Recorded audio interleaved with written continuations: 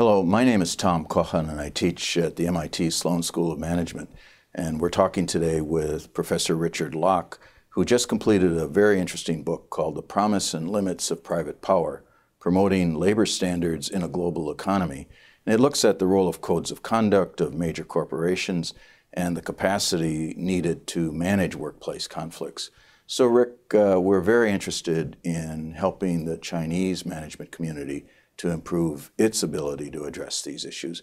What are the main lessons from your book for managers of Chinese workplaces? I think the main lessons for Chinese managers are threefold. Uh, the first one is that the traditional approach to compliance, which is basically audits, codes of conduct, remediation plans, those in and of themselves don't work. It's not like they don't do anything. It's important to collect information and to track it, but uh, just collecting the information on a periodic basis doesn't really bring about change. What we discovered was that to really bring about change, you need to enhance the capabilities of the managers themselves. And by capabilities, I mean uh, learning how to manage people in a modern way, learning how to organize work, uh, in a modern way, learning how to organize production, inventory management, uh, uh, supply chain management, et cetera, in a modern way. That that's essential to run an efficient but also a more ethical workplace. The last lesson that we learned was that the private sector, even well intentioned and well developed managers, can't tackle these problems in and of themselves. One needs to build public institutions or public and private partnerships um, for mediation, uh, for arbitration, for dispute resolution, etc., which are important. You can't solve those kinds of rights issues one factory at a time. You really need to have the institutional infrastructure to support it. Good. And as you know, we're working with educators in China, and so it would be really helpful to know what you see uh, ways of integrating these lessons into business school and other school curricula in China. Should we be using specialized human resource and labor relations courses? Should we be integrated into other core curricula or other ways? Yeah, I, I think the best way to educate uh, future managers on these issues in China, but elsewhere as well, is not either or, but to do both. I think that there is uh, no substitute for a really good uh, strategic human resource management uh, class. One that really explains the theory, the different kinds of practices, the history and the evolution, and how these work um, across different uh, sectors. There's now a lot of work that's been done at MIT and elsewhere on this, and I think that that work can really inform all managers.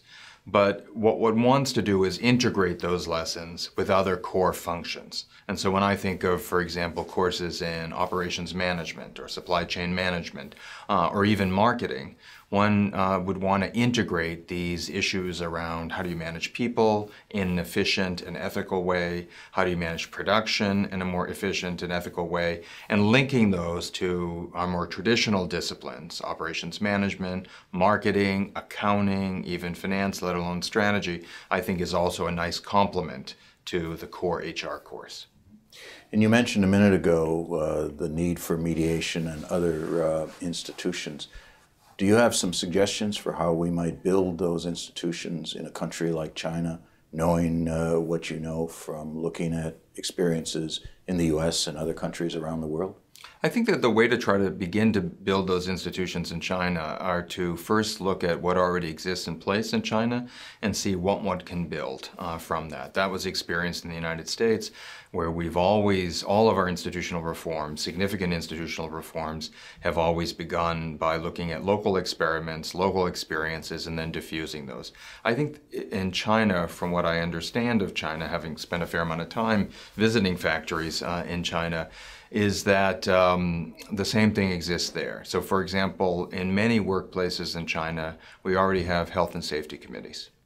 Can those health and safety committees play the same type of role that some of our health and safety committees played when individual states devolved certain kinds of functions to more autonomous health and safety committees, ones that were truly representative of the workers and not just dominated by management, and how they didn't just uh, execute more efficiently health and safety standards, but they also provided voice to workers. So I would like, I think one way is to look at what already exists within the factories that might we might be able to sort of develop and uh, elaborate on. And likewise, outside of the factory, there's all sorts of very interesting local level institutions. Some more developed in some towns than in others, or in some provinces than others. And I would uh, suggests that one would begin to work with, for example, professional associations, local business associations, uh, other kinds of civic groups that exist, and lots of different civic groups exist across China, to say, can they play,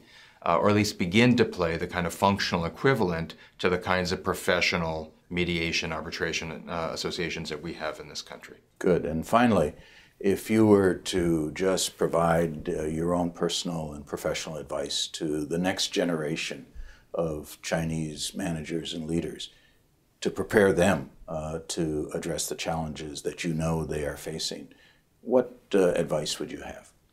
Um, I think the number one challenge that I've seen in China, uh, having spent a lot of time visiting factories and as deputy dean visiting quite a number of uh, business schools uh, in uh, China is that um, they need to get beyond just paying attention to the core functions.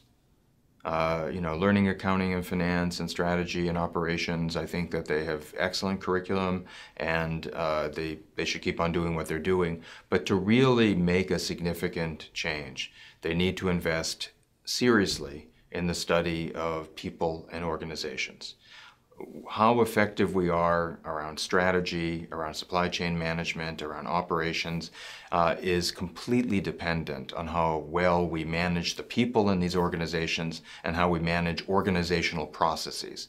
And it seems to me that that particular set of skills is a set of skills that, at least in my visits to China, are the ones that they could really invest in and would have the biggest bang for the buck. That's great. Thank you very much. Thank you.